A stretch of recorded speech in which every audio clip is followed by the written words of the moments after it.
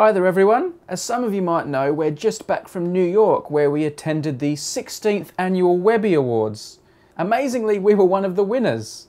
Now at the Webby Awards, everyone, whether they're famous or a bit more obscure like us, is limited to a five word speech. And here's the one we made. Thorium, thulium, thallium, thank you.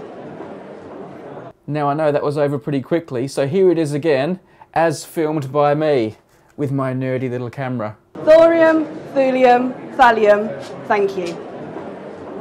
Now we did a few other bits and pieces while we were in New York and hopefully you might see them in some upcoming videos. But in the meantime, I recommend you have a look at another channel of mine called Numberphile, all about mathematics and numbers, because our latest video also has a bit of an American twist.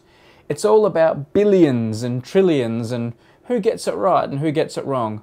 Oh, it's rubbish the, the, the, way everyone started to do it. It makes no sense. At least I can't see the sense in it. And we'll be back here on periodic videos very soon with more chemistry, including an experiment by the professor. Here's a bit of a sneak peek. So this is actually much better than I intended.